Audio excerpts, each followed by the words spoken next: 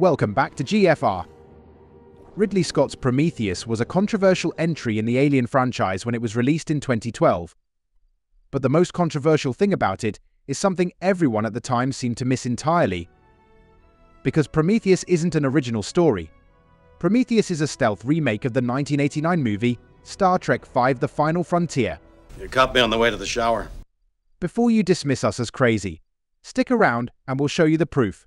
The designers tested it using the most intelligent and resourceful person they could find.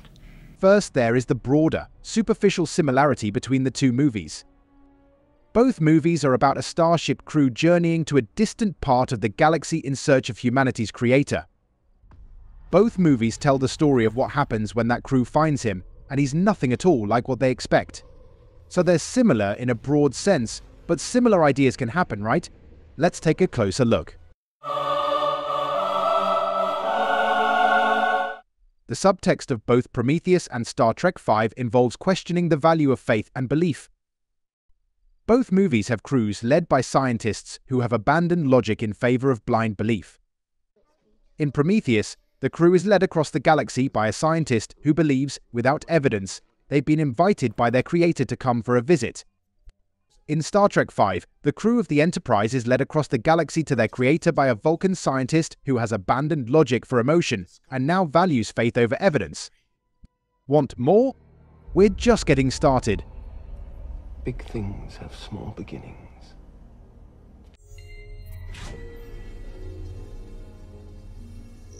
Both Prometheus and Star Trek V introduce their characters in some sort of remote, digging location. In Prometheus, we're introduced to faith scientist Elizabeth Shaw hanging out in a remote area of Scotland digging through sand and stone. In Star Trek V, we're introduced to faith-driven Sybok hanging out in a remote area on a crummy planet named Nimbus 3, where he encounters a man digging in the sand.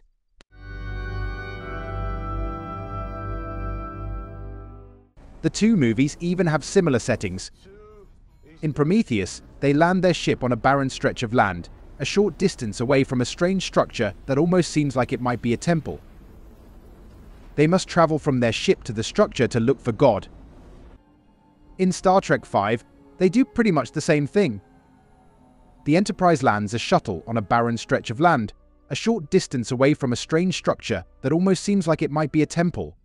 In Trek, the structure looks like a giant Stonehenge. In Prometheus, the structure is a giant rock dome. Aside from these minor style differences, the setting is the same.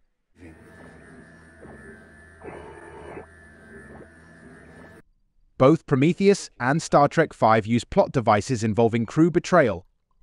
In Prometheus, everyone has their own agenda and no one really follows the orders of the ship's captain or their employer. Then David betrays everyone by poisoning one of the scientists. In Star Trek V, the usually loyal crew of the Enterprise mutinies and betrays its captain in order to follow the blind beliefs of Sybok. Spock, as the movie's David, refuses to shoot Sybok and turns the ship over to him. Shoot him! Dawson! Both movies involve a scene in which the crew races back to the ship aboard a vehicle and must make it inside before they're destroyed. In Prometheus, this happens when the team drives back to the ship at a frantic pace in ground vehicles to escape an approaching storm. Incidentally, one of these vehicles looks a lot like a Star Trek shuttle on wheels. They careen straight into the cargo bay, making it inside just before the storm can destroy them. In Star Trek V, this same thing happens when approaching Klingons threaten to blow them up. To escape the approaching Klingons, the crew must race back to the Enterprise aboard a shuttle. They careen straight into the shuttle bay, making it inside just before the Klingons can blow them up.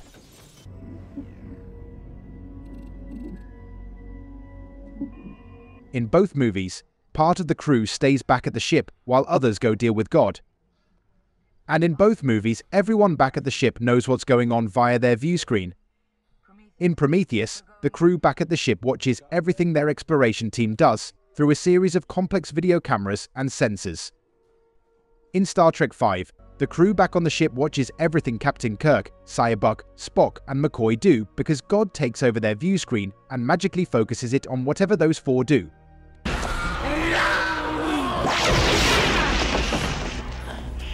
The big surprise discovery in both movies is that God exists, and he wants us dead.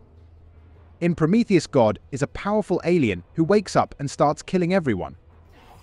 He intends to escape the planet and set out into the galaxy to wipe out humanity. In Star Trek V, God is a powerful alien who awakens and starts trying to kill everyone. He intends to escape the planet and set out into the galaxy to begin his reign of terror. Excuse me, I'd just like to ask a question. What does God need with a starship? Ten, nine, eight. In the end, to stop the vengeful alien god creature from escaping his planet, someone must sacrifice themselves. In Prometheus, it's Captain Janek and the crew of the Prometheus who have to die. They throw their entire ship at the alien god creature to stop him from escaping. In Star Trek V, Sybok throws himself at the alien god creature and wrestles with it, keeping it busy by engaging in a suicidal mind meld. Both movies are pretty similar, just separated by stylistic choices and the established universes in which they're set.